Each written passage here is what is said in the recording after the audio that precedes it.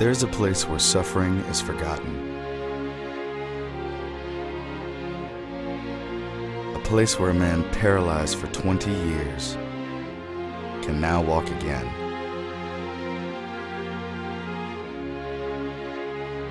A place that helped a paraplegic terror victim walk down the aisle. A place where a critically injured soldier is reborn.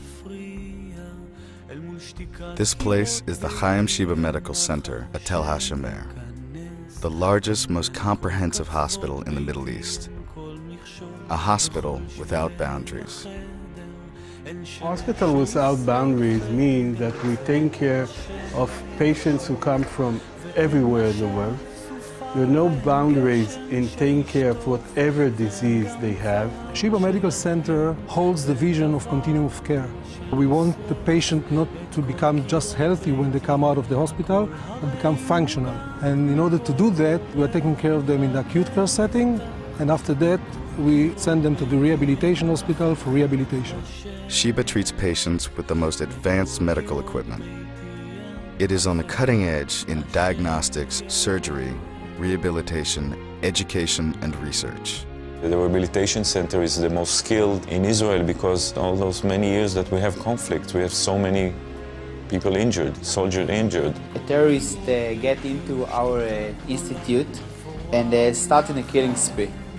When I first arrived at Tel HaShomer, I was totally broken. I couldn't do anything by my own. And when I say anything, I meant anything. And then I start my rehab process. The mental support that I, that I get in the hospital, the sentence like, don't beat yourself, you can do anything, and actually I believe today they right, I can do anything. Really big piece of missile they, she got in my brain. Couldn't do the simple things, you know, typing computers, pushing buttons to start walking, to start uh, thinking about, uh, about the future. This is the miracle. This is our commitment to bring the last innovations, the cutting edge of, of any technology, uh, to make anything better in the quality of life of our young soldiers. And there's no soldier who needs to be functional again in terms of rehabilitation who doesn't come to Sheba. They operated mortars on, on us, and one of them hit me. The main artery of my leg was torn. I lost a really big amount of blood. I remember my, the picture of my mom, really just standing in front of me, and that's what uh, kept me alive, I think. We was hit by a missile. My leg was paralyzed. It was uh, infected. I passed a lot, a lot of surgeries, and eventually I decided to to cut my leg. As far as I know, Tel HaShomer is the only hospital that uh, do rehabilitation with uh, C-leg. It's very, very important because the minimum that we can do for the wounded is to give them the best tools to rehabilitate. We try with each patient to push the boundaries and really push beyond what they think is their limit and to see how they can function and it's very successful. The Chaim Sheba Medical Center knows no boundaries. No boundaries in religion, nationality, or patient care. We have a really special place here where everybody's passionate about taking care of the children, taking care of the families, and taking care of the sickest patients who need special care.